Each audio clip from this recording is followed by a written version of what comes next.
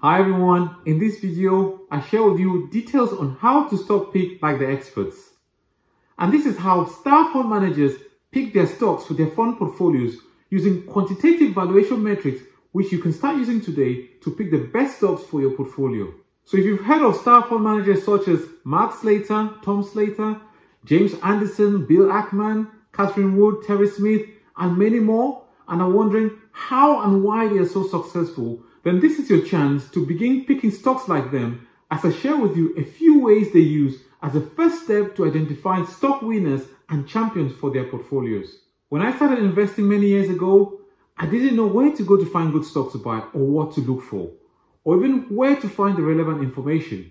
So in the coming minutes, I'm going to explain to you three choices of quantitative metrics these fund managers use to pick their stocks, going through each step by step with examples so it is easy to understand to a layman or to a beginner to investing.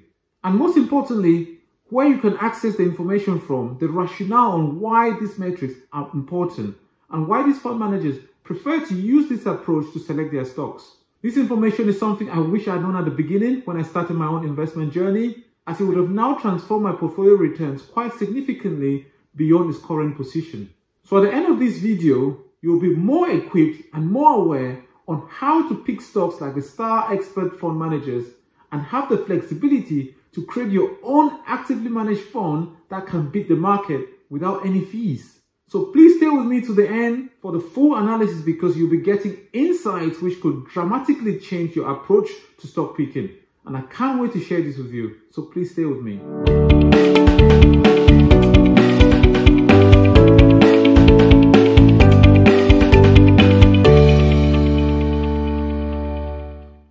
Subscribers and thank you so much for joining me here today. I'm Cornelis from Corns Investing. My channel is about education, guidance on how to be successful and to make money from investing in the stock market. Here I share with you content on tutorials for beginners, share tips, thematic investment, funds, ETFs, latest market insights and loads more to help you grow your wealth in the stock market over the long term. I upload videos twice a week on Tuesdays and Saturdays so please subscribe to my channel by hitting the like and subscribe button below to become part of the family and enjoy the content, which is really good and helps grow the channel. And also make sure you hit the notification bell to be notified when new videos are uploaded so you have the first chance to check them out and let me know what you think. There's always exciting stuff in there, new stuff which I highly recommend. So thank you so much for doing that. I appreciate you. There are two main approaches to stock picking which fund managers use. The first is quantitative approach, which is what we're talking about in this video today. And the second is qualitative analysis. Qualitative analysis focuses less on the numbers, but more on the qualities that make a company great. It takes into account the brand awareness, recurring revenue streams, operating model, management experience, and loads more. And the reason is to get a full valuation assessment of a company taking into account different measures of tangible financials, company specific factors, and market outlook to assess which stock is going to be a winner or a blockbuster stock. So I share with you now three key valuation metrics which fund managers use to help guide your initial screening criteria and narrow down the universe of potential winners. So this would identify stocks which could qualify as a starting point for further qualitative research. So with that said, please smash that like button to turn it to blue and let's get straight into business with the first ratio, which is the PEG ratio. The PEG ratio is a valuation metric for determining the trade-off between the stock price, the earnings generated per share, and the company's expected growth rate. So it is the share price earnings ratio or the PE ratio divided by the earnings growth rate, which is calculated to give a full picture of the company's value taking into account its earnings growth rate. Growth is key here as this is what we as investors pay for. The expectation that a company will continue to grow its profits and earning so we grow our wealth too. So I know all that seems like gibberish and so complicated, but I'm going to scale back and take you through it step by step. So first, the PE ratio is the most popular metric used to value a share. So you will find it in most places showing company or share price fundamentals, whether it's Google Finance, Yahoo Finance, Tokopedia, your investment platforms or other sources. So you will see this any and everywhere. So this price to earnings ratio or PE ratio is the share price divided by its profit earnings per share. And the earnings per share here is the company's bottom line profit divided by the total number of outstanding shares issued, which serves as an indicator of how the company's profitability is. So this PE ratio metric is used to show whether a company's stock price is either overvalued or undervalued. A high PE ratio, typically greater than 20, could mean that a company's stock is overvalued relative to others, or else that investors are expecting high growth rates in the future. So good and reasonable value shares are those with PE ratios below 20, though caution needs to be taken to avoid value traps. So in layman's terms, the price to earnings ratio indicates how much an investor is willing to pay per dollar or per pound of earnings. So if a company is currently trading at a PE ratio of say 20 times, it really means that an investor is willing to pay $20 for $1 of current earnings. So a high PE of say 100 means that investors are willing to pay $100 for $1 of earnings. So let's look at some examples of some really hot stocks out there which you're very familiar with, such as Apple, Tesla, and Amazon. You would see here that Apple has a P ratio of 38, which you would think that's expensive, thinking $38 for $1 of earnings of Apple. Okay, maybe it's Apple and I'll buy that. But when you look at Amazon at 93 times, you're thinking this is even more expensive. But wait till you look at Tesla. Tesla has a PE of 1377 and that's super expensive, which at this rate makes Apple look really cheap. And so this really means that investors are willing to pay $1,377 for $1 of earnings from Tesla, which may sound insane, but there is reasoning behind it, which is why the quantitative metric is only one side of the stock selection criteria. So now we are clear about what PE ratio is. So by dividing this PE ratio by the earnings growth rate gives us the PEG ratio, which is better for comparing companies with different growth rates. So a PEG ratio of 1 indicates that a stock is reasonably valued given the expected growth rate. So PEG ratios between 0 and 1 are indicative of high growth returns. So let's look at another example to bring this PEG metric to life by choosing between two stocks from companies of the same industry. So for two companies, company say Y and company Z, company Y has a share price of $30 per share and earnings of $2 per share, meaning a PE ratio of 15 times its earnings. While company Z has a share price of $54 per share and earnings of $3 per share, meaning a PE ratio of 18 times earnings. So if you simply look at the PE ratios, then company Y may seem like the more attractive option having a low PE. However, company Y has a projected five-year earnings growth rate of 12% per year, while company Z's earnings have a projected growth rate of 19% per year for the same period. So this gives a PEG ratio of 1.25 for company Y and 0.95 for company Z, making it the more attractive option despite a high PE ratio without the full growth picture. So as you can see, the PEG ratio represents a fuller and more relevant valuation measure than the standard PE ratio on its own, as it factors the growth into the equation.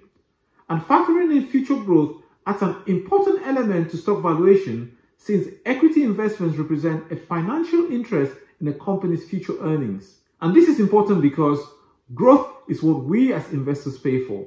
And the PEG has the added advantage that it allows investors to be able to compare companies with different growth rates and PEs together. So in this case, the experts demand at least a double digit expected earnings growth rate to eliminate 95% of the universe of available investment, leaving a more manageable list of investments to scrutinize and to conduct further qualitative assessments on them.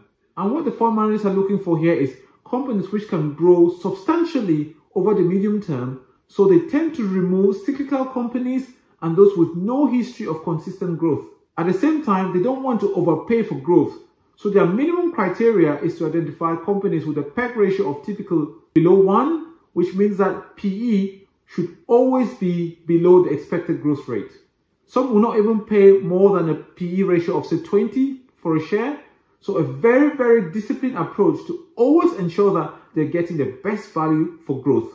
So the discipline here is key, which is what makes the fund manager so successful. Once a team have identified potentially good growth businesses trading at attractive prices, only then do they begin to conduct further qualitative work with the goal to determine the reliability of that growth. One very important part of the qualitative work is to make a distinction between a very good growth company and an excellent one. So they tend to sell off a share if the PE of a very good growth company gets ahead of its sustainable growth rate and thereby increasing its PEG ratio. So essentially, they stick to their PEG valuation discipline of having growth rate always greater than the PE ratio. However, the fund managers who look to hold an excellent growth business forever, irrespective of value, as long as the growth credentials remain intact and greater than the PE ratio. This approach is important because keeping and running winners like this is key to delivering top-notch returns over the long term. Next up is free cash flow yield. Free cash flow yield is a financial ratio that compares the free cash flow per share a company is expected to earn against its market value per share. The free cash flow here is calculated as the total cash available to spend, including capital expenditure, so as not to penalize the company for investing in growth. And the ratio is calculated by taking the free cash flow per share divided by the current share price. And as with PEG, you can find it on most investment platforms and websites, including the Financial Times, which you can see here. The free cash flow yield will be a more accurate representation of investment returns.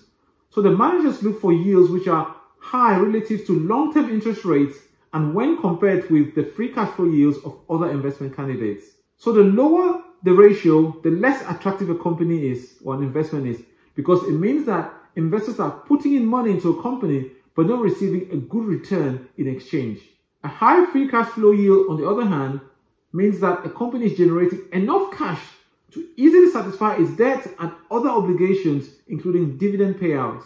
It also gives an idea of how financially capable a company is at having quick access to cash or how much cash would be available if the company had to be liquidated. And so in general, yields of above 4% will tend to be acceptable for future research, but yields above 7% will be considered a higher ranking stock. So now I'm going to turn it over to you. How do you go about picking your stocks for your current portfolio? Do you use any of the metrics discussed so far? Please let me know in the comment section below. And also, if you're finding value or enjoying the content, please do me a favor to hit the like button and share with others from your network who could benefit from it. Or if you have any other questions, please leave them in the comments below and I'll answer and respond to you. Thank you so much. Our third metric is the growth intrinsic value. Some managers believe that the most important factor in delivering investment success is to focus on the growth in its intrinsic value as well as capital return to investors via dividends. The best metrics for capturing intrinsic value are earnings per share and free cash flow, which we have just spoken about earlier. Focusing on intrinsic value is considered more predictable and preferable than relying on the quick fix of multiples such as PE ratio, which goes up and down irrespective of the earnings or cash flow. So essentially, the fund managers look for businesses with strong market positions and competitive advantages which can grow their intrinsic value sustainably at between 8 to 12% a year. And the idea here is that over the long term, the share prices would follow the earnings. So their patience and value discipline is also expected to pay off.